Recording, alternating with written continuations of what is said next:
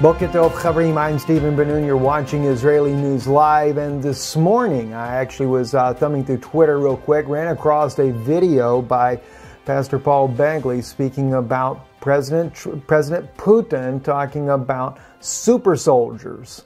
Uh, that this is something that is on its way, something that is going to be part of the future. And yes, he is right on that. Uh, we also followed up on what uh, Paul Begley was saying and found the article as well. Uh, several articles already out this morning, just moments ago, speaking about this. This article here uh, from Daily uh, uh, Daily mail.co.uk, genetically modified superhuman soldiers of the future will feel no pain or fear and be more destructive than nuclear bombs, warns, warns Vladimir Putin.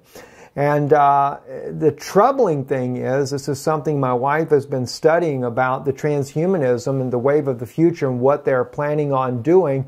And as she has said to me this morning, yes, Putin has been revealing a lot of things that are going on, not just this here, but in other areas as well.